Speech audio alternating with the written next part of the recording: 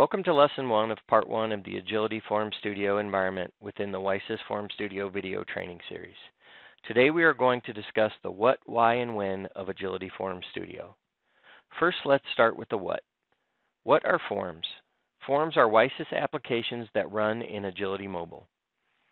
Agility Mobile runs on a Motorola handheld device throughout a warehouse while connected to the wireless network. The screen you see shows what Agility Mobile running on that device would look like. Agility Mobile can also be run in the emulator mode on the desktop. So if I close what it looks like on a handheld, this is Agility Mobile running on the desktop in what we call emulator mode. The icons that you see are all forms that have been written in Form Studio for Agility Mobile. Each of these forms has a purpose and will collect data, usually via a barcode scan for quicker data entry, and then pass that data to Macola through a business transaction. Receiving an item against a PO created in Macola is an example of this.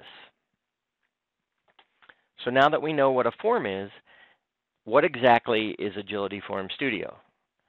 Well, Agility Form Studio is a visual design tool for modifying existing or creating new forms to run in WiSys Agility Mobile. Once you have WiSys installed on your workstation or server, you can run Form Studio from there. Here you will see I've created a desktop icon to launch Form Studio. This, however, is not there by default. To find Agility Form Studio, go to Start,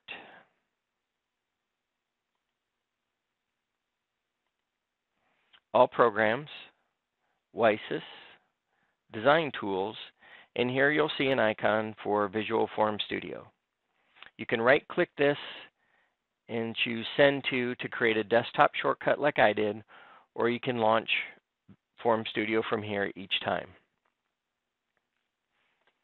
For the purpose of this lesson, I'm simply going to connect to my database, select a project, and then I'm going to open the PO receiving form. There will be more covered on projects and standard WiSys forms in a later lesson.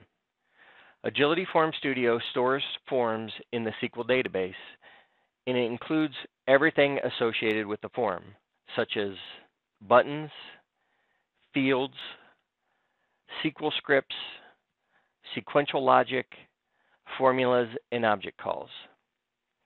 The advantage of storing forms in the database is when a change is made using Agility Form Studio and the form is saved, the database is automatically updated and that change to the form is immediately available to all users. There is no client component. You will also see this concept demonstrated in a later lesson. Now that you know the what a form is and what Agility Form Studio is, why and when would one want to use Agility Form Studio?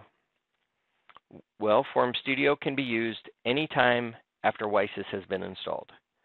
It should be used when a need arises within your workflow to do something on an Agility mobile device that WiSys doesn't already provide.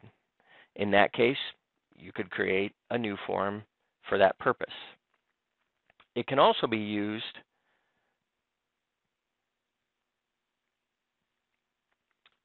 when our standard forms, such as this PO receiving form, don't 100% fit within your workflow, perhaps just making a slight modification to this form would improve how this form works in your environment.